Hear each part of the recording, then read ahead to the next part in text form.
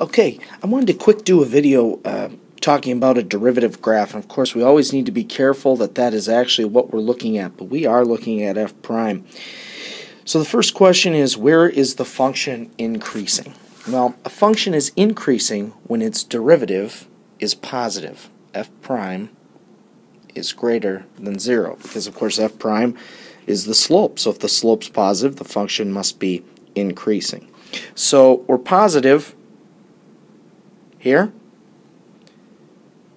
and here. So we'd say from negative infinity to negative 4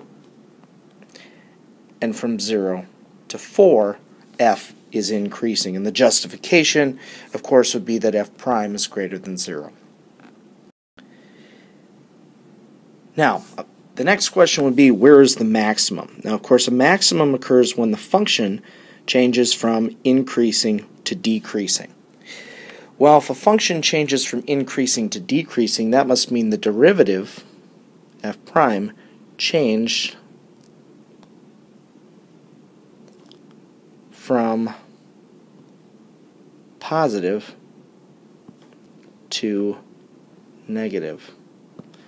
Therefore, the function changed from increasing to decreasing. So we just we just need to look uh, for the locations that that happens at.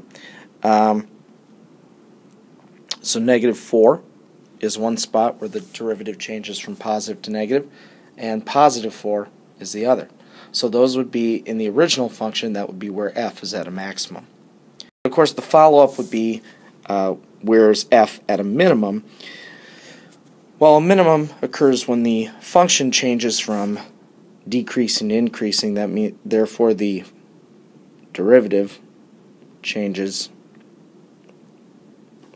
from negative to positive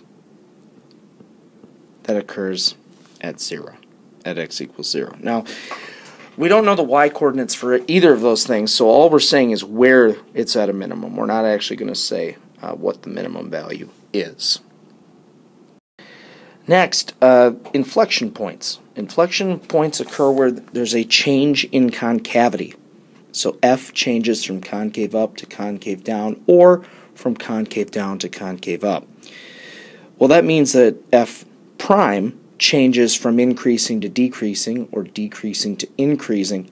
So we're looking essentially, the easiest way I've always said to justify it is where F prime changes direction. Okay? And that's all encompassing. Then you didn't have to say it changed from positive to negative or negative to positive. You just say it changes direction.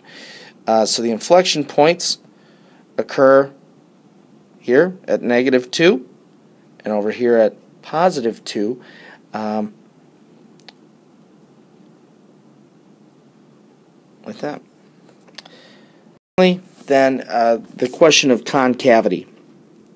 So a function is concave up when its second derivative is positive. Well, if the second derivative is positive, that must mean that f prime, f prime is oh, prime is increasing. So of course concave down will be f prime is decreasing. Sorry for my sloppy writing here. So it's increasing here from negative 2 to positive 2, so that's where we're concave up.